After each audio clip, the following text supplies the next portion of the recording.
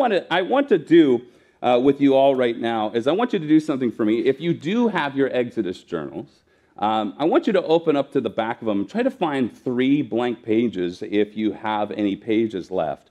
And all I want you to do is I want you to write each of these questions I'm about to have at the top of each of those pages. And then throughout this week, if you get some time in your own personal time with the Lord, just reflect on those and, and, and uh, answer those questions as, uh, as you uh, see fit. Uh, but the three questions that I want you to write the, on the top of the first blank page is uh, what did Exodus teach me about God? Take a second, write that down. What did Exodus teach me about God?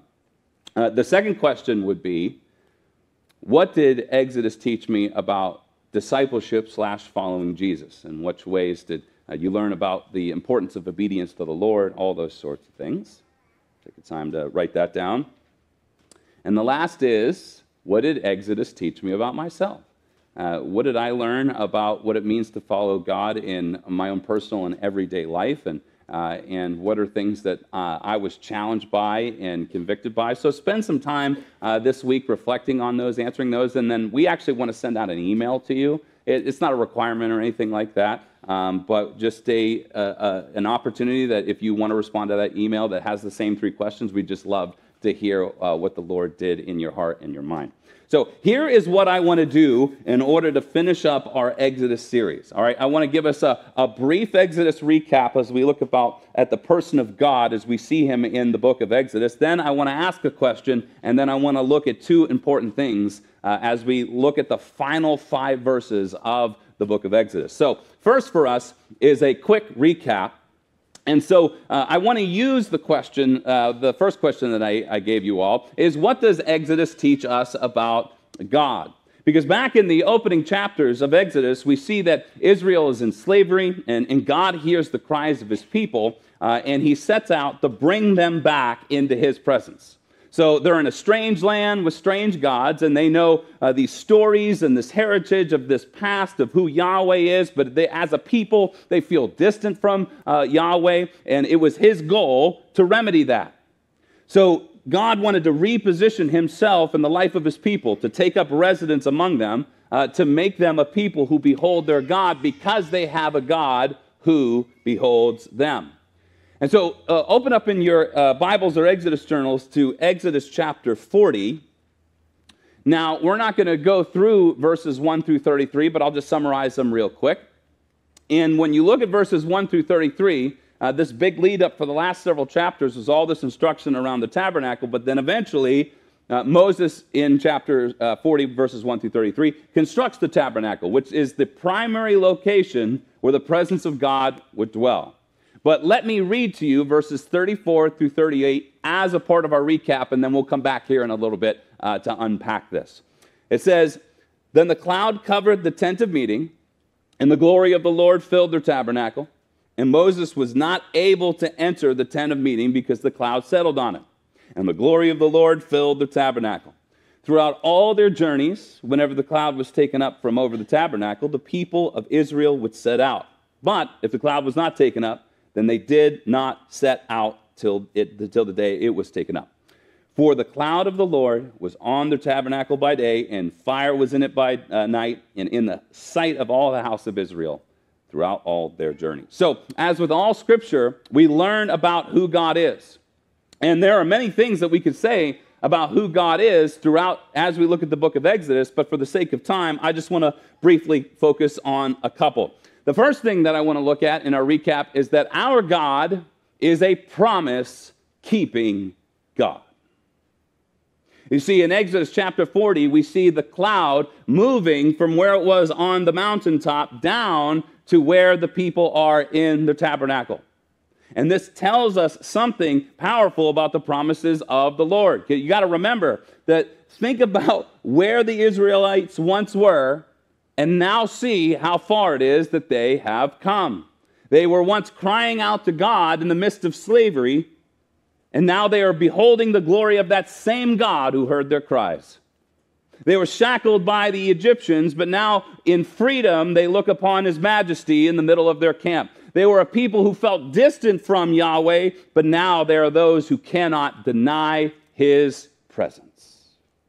And none of this was their own doing. It was the steadfast love and promise keeping of God that brought them here. Think about the promise that God made uh, to Moses. Eventually, he said it to Pharaoh. He says, "Let my tell Pharaoh this: Let my people go, so that they may worship me on this mountain."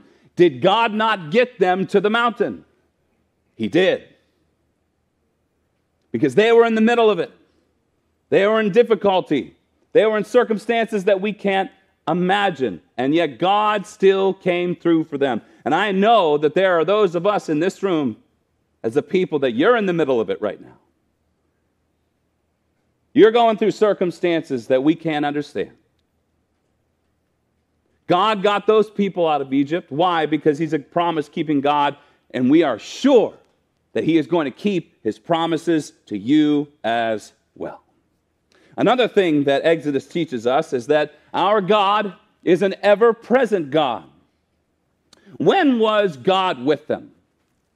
He was with them in the silence and the Red Sea, in the slavery and the freedom, in the certainty and the doubt, in the praise and in the complaining, and in the suffering and the prosperity.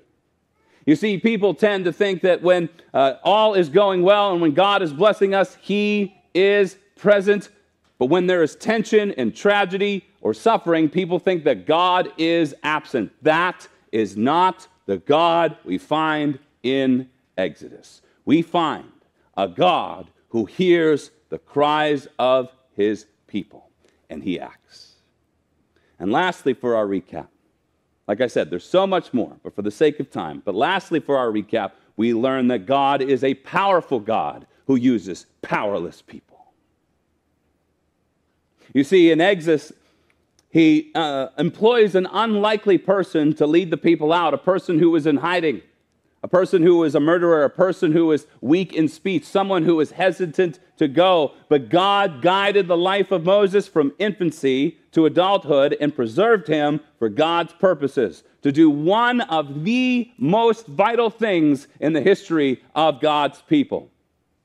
And if God can do that with Moses, every single person in this room is qualified for the next God oriented mission that He assigns you to. But you may be thinking, but I'm not qualified. God knows that. He just doesn't care.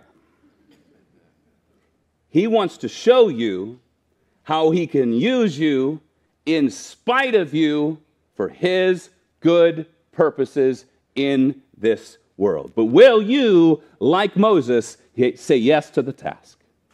And I know there are some of you here this morning that God is calling to do uh, big and wonderful things for His name, but you feel so unworthy and unqualified, and you feel those things based on the world standards. Stop looking at the world standards, look at God's standards. And look to God. He is able when we are unable, He is powerful when we are powerless. Look, he didn't look at Moses through the lens of a runaway shepherd hiding away in Midian. No. God saw him through the lens of the one who would lead the people out of Egypt. God does not see you through a lens of your uh, alcoholism, your porn addiction, your insecurity, your idolatry of success, your lack of self control. God wants us to repent of those things, yes, and turn to Him and say yes to Him. And He uses us for His good purpose. But He sees you through the lens of someone of who you can become under His great power, despite our powerlessness. But we have to ask the question can we admit our powerlessness so that His power may work through our weakness? So that's a brief recap. Feels like we could end the sermon right there, but we have more to talk about here this morning. Which leads me to want to focus on the remainder of our time here this morning and what I want to highlight from the final five verses from the book of Exodus. So I want to start by asking us the question, and then I want to unpack two things for us. And the question I want to ask is this If God is supposed to be at the center of our lives, where are you in proximity to Him? Think about that for a second. If God is supposed to be at the very center of our lives, where we revolve around Him, as individuals, as a church, where are you and where are we in proximity to Him? Because from these verses, we are going to look at two things. The first is, is where God places Himself, and the second is where God's people ought to place themselves. Let's look down at verses 34 and 35. We're going to start by where God places himself. It says, Then the cloud covered the tent of meeting, and the glory of the Lord filled the tabernacle, and Moses was not able to enter the tent of meeting because the cloud had settled on it, and the glory of the Lord filled the tabernacle. Now, I want to I want us to understand that there is great significance not only in what is happening, that the glory of the Lord is there, but where it is happening. Because when you look at all of the other texts and you see the descriptions of how God wants them to set up the camp, we, we see something very particular about where the tabernacle is located. The presence of God is at the center of his people. Take a look at this photo. And this shows you this is how God instructed the Israelites to set up their camp when they're at rest. Is that right there in the middle, uh, God is at the center, and the 12 tribes uh, are right around them, all at about equal distance uh, from him. And because the reason for that is because he is the God at the center. And the significance comes, like I said already this morning, is that when we understand where God was prior to this, he was on the mountain, but he moves from the mountain to be in the midst of his people. And this is so significant in terms of how God relates to his people. We've talked about it plenty of times throughout this series that uh, the gods in those days, they were often distant and, and, and, far away, and, and people did some crazy, desperate things in order for them to, uh, you know, try to get their gods to respond. You know, we think about even with the prophet Elijah and the, the prophets of Baal. Uh, they are, you know, cutting themselves, trying to bleed in order to get uh, the, their God to respond, but he doesn't respond. And the reason why he doesn't respond is because he's not real. But Yahweh responds. Why does Yahweh respond? Because Yahweh is real and he is present with his people. But in this one single act of Yahweh moving from the mountain to the midst of the people, he tells them that he is not a God like those gods. He doesn't stay at a distance. He doesn't remain on a mountain where you have to work really hard to come up to him if you want to relate to him. Oh no. Our God puts himself right in the middle of his people to guide them, to disciple them, to discipline them, to be ever present. One commentator said just because the time must surely come for Israel to leave behind the holy Mount Sinai, that does not mean that Israel leaves behind the God of Sinai. And we've seen that throughout all of Exodus. That he is not just the God who goes ahead of us, he is not just the God who gets us there. He is not just the God who goes before us, He's so much more. Uh, and you know what's interesting is that I know that there are some people uh, that come into maybe a church setting or maybe you've been into a cathedral before, some places what we would call, you know, sacred spaces right? They're, the, the way that they're structured and designed is to, to look a little bit more sacred and look a little bit more holy and so on and so forth. And I get that. And so some people end up coming into those places because they feel in those places God is more present. Though it is true that God is present with us here in the now, but let me just also say this to you is that when you leave the parking lot today, God is not at the sign just waving by to you on the way out. Thanks for stopping by. Hope you have a great week. Maybe you'll be back next week. He doesn't do that. That's not the God that we serve. We have a God who goes with you. And where does he go with you, my brothers and sisters? He goes with you into work, into traffic, into doctor's appointments, and into the unemployment office, into therapy sessions, and into the voting booth. He goes with you into the job you hate. He goes with you into the career you love, into difficult meetings, into the surgery room, into the funeral home, and into the principal's office. Into the guidance counselor, and into parenting, into messy marriages. He goes with you when you're walking on the beach or if you're on a mission trip. He goes with you into every year of your college career, and He goes with you into seemingly hopeless situations. Why? Because He is a God who's at the center of His people. And He tells His people, I will not abandon you. And He shores that up here by that promise that he made by placing himself as the central piece of his people.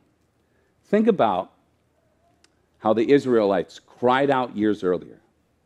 But God's, God's goal was not just to rescue them and move on. He does not treat Israel like a cat stuck in a tree that got up there because of its own stupid sense, and you have to pull it out of the tree and you put it back down. No. And then you just leave the cat alone. No. He stays with his people. He wants to have a relationship with them. He says to Israel, You want me? You got me. I will rescue you to be with you. And he says the same thing to us. He rescued us from sin and death, not just to save us from condemnation, but to be with us, to have a relationship with us. And why does he do that? Because he's the same God of Exodus who longs to be at the center of our lives. Which leads me to my next point is where his people ought to place themselves. Look at verses 36 through 38. Throughout all their journeys, whenever the cloud was taken up from over the tabernacle, the people of Israel would set out. But if the cloud was not taken up, then they did not set out till the day it was taken up. For the cloud of the Lord was on the tabernacle by day, and fire was in it by night, in the sight of all the house of Israel throughout all their journeys. See, if God is at the center, it is vital that his people be in orbit around him.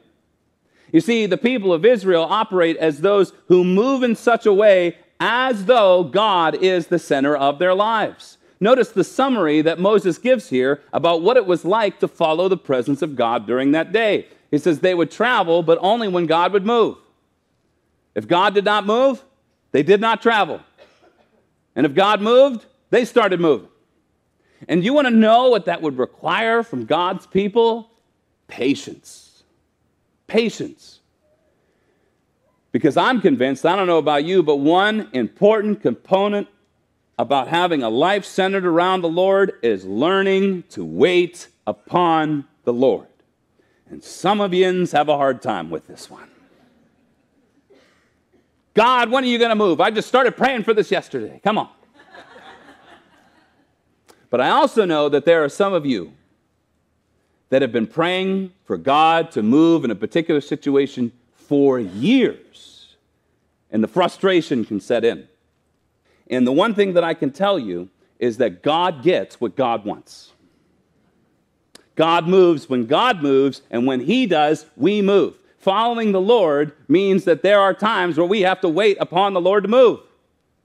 And there are times when we try to make things happen and we try to get what we want now, but for some reason, those plans keep being thwarted and frustrated. Why? Because God might be thwarting and frustrating your plans to move Him when you are the one who has to wait for Him to move. Because if He is at the center, we must move when He moves. God does not bend to our will, we bend to His. We must place ourselves under His timing, His movement, and His direction in our lives. One of the important components about following God is we must wait upon the Lord, and that is what the people of Israel had to do as well. And I want to look at another phrase in this passage. It says, in the sight of all the people. You know, what must have been really wonderful for them was that the people could come outside the camp and see the very presence of their God in the middle of their camp. Most of it at probably very equal distance. But one of the things that we've learned about the presence of God uh, throughout not only Exodus, but all the Bible, is that proximity matters. You see, Moses tries to go to enter the tent, the, the tent of meeting, and one of the things that commentators all say, it wasn't like Moses wasn't allowed to go in.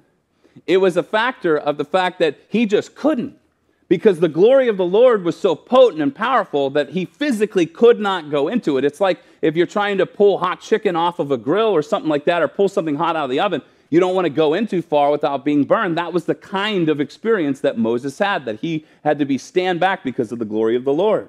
But, we, uh, but we've also seen that in people's faith when it, when it comes to being distant from him as well, that things can be cold for them. Now, since we're talking about the sun, the S U N, let's keep using that example. You know, in order for proper life to exist on this planet, do you understand how vital it is for us to be the right distance from the sun? Let me read to you this from NASA's website. It says Earth is the only place in the universe that we know where life exists. Life exists on Earth because of many important factors. We have the perfect sized star to live next to. We are the perfect distance from the sun. It's not too hot or too cold, and we have liquid water. It says, Imagine if Earth was in, where Pluto was, the sun would be barely visible, about the size of a pea, and the Earth's oceans and, and, and, much of its atmosphere would freeze. On the other hand, if Earth took Mercury's place, it would be too close to the sun, and, it, and the water would form a steam atmosphere quickly boiling off.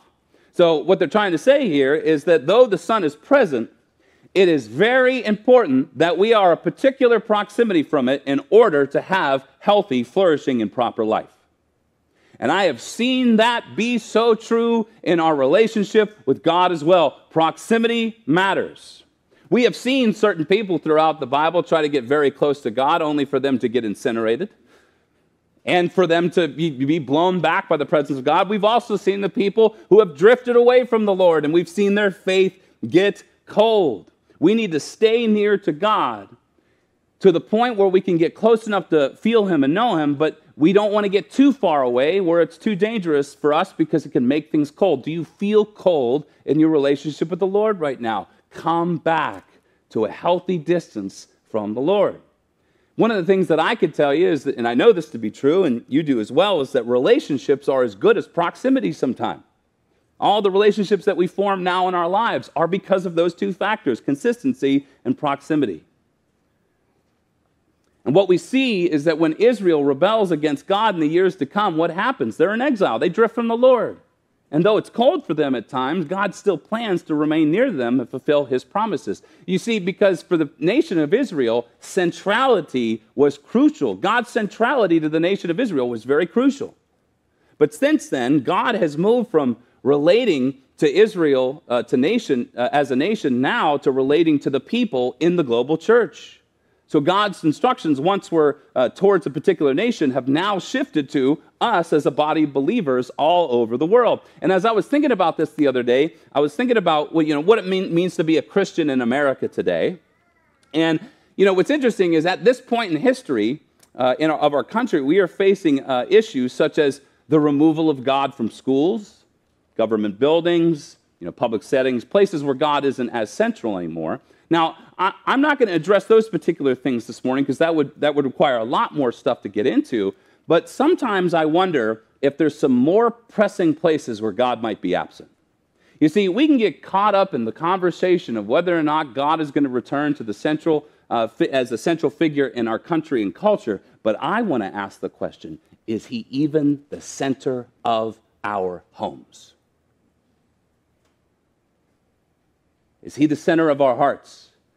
Is Christ the center of this church?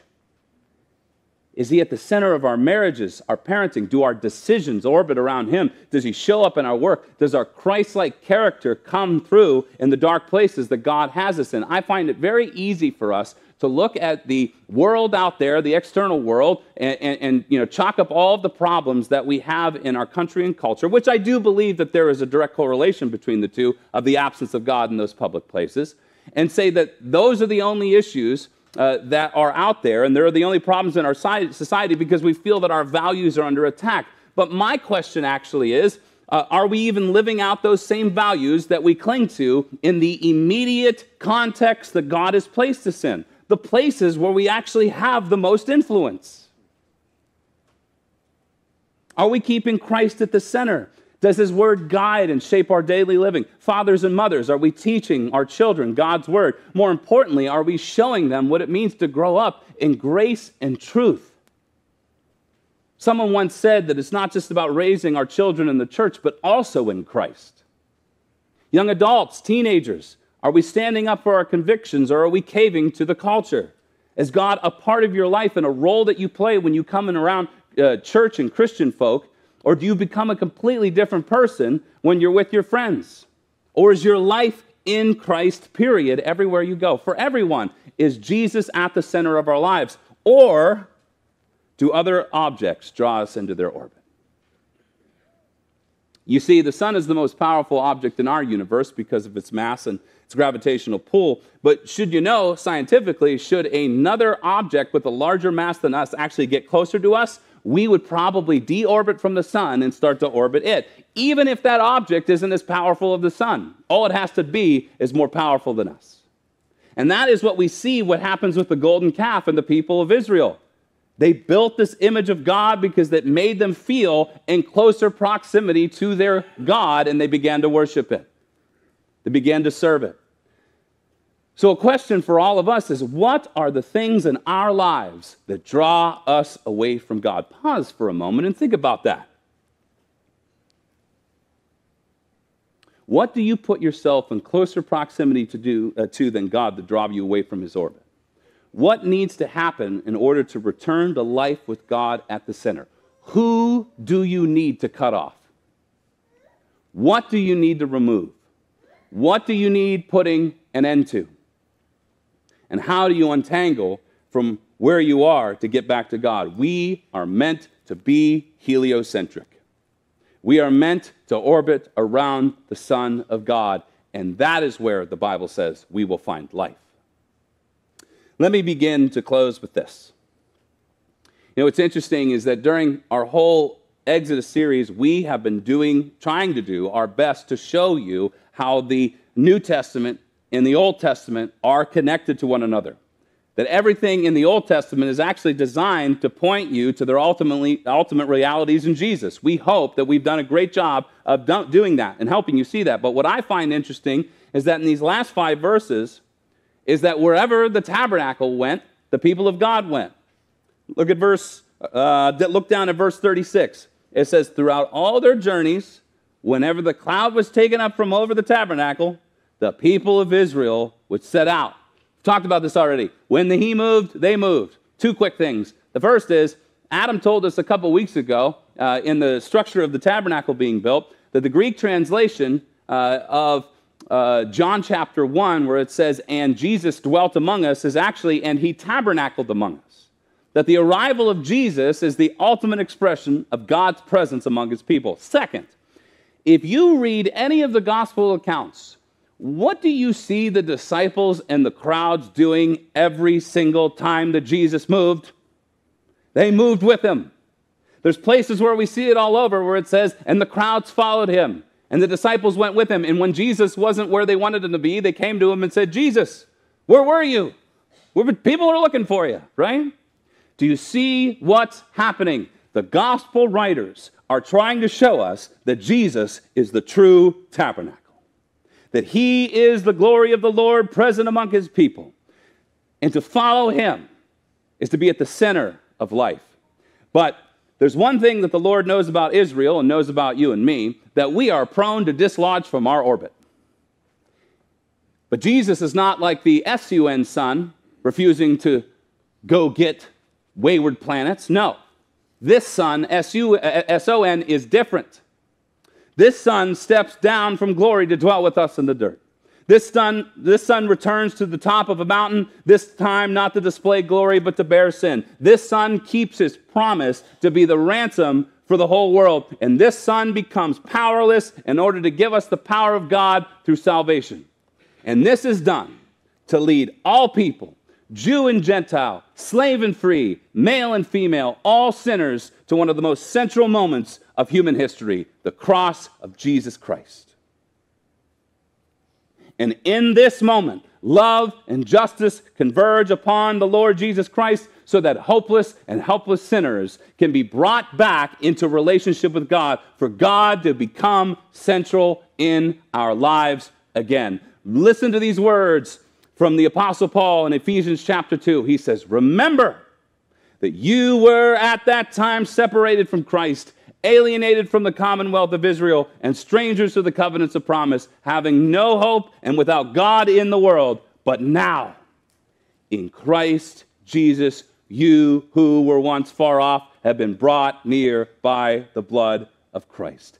And this is what Exodus has taught us that our God keeps his promises, our God saves powerless sinners by a powerful hand. Our God is ever present with us, and our God is at the center of all things, and staying near to him is where we find life. Come back to the center. God longs to dwell with you.